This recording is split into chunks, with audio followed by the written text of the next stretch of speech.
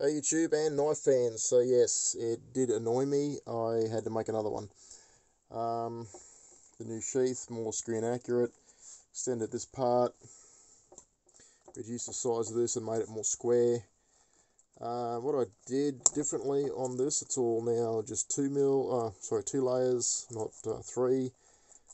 And what I did was I cut little panels out, rather than two layers and then folding it into shape.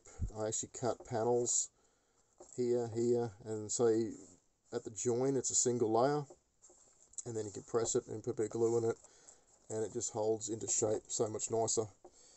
So you can see still a side profile so that's much better.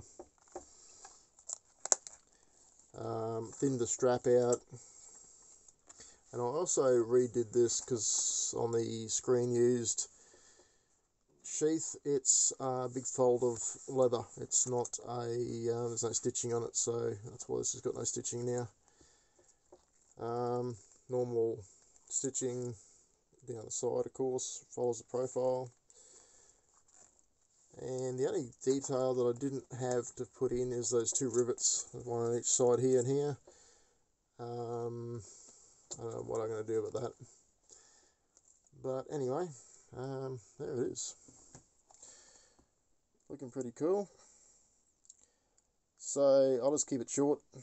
Um, yeah, this is coming together pretty good. Happy with this.